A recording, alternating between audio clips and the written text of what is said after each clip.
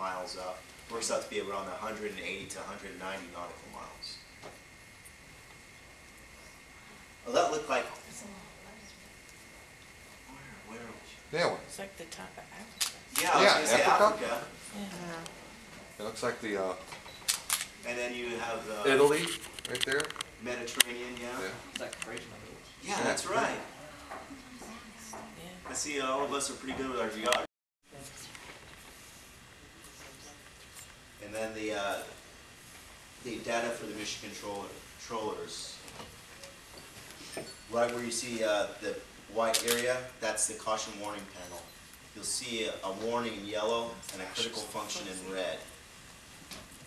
This room is known as flight control room number one. As a mission controller in this room, you're on a nine-hour shift, basically an eight-hour day with an hour handover to the next group that comes on. Capsule communicator. Uh, looks like an astronaut, looks like uh, Stanley Love, the shape of the head, you know.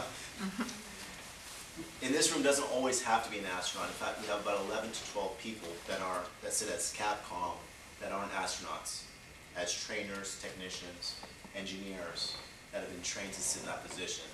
Because our International Space Station has been up since November of 1998, over 10 years.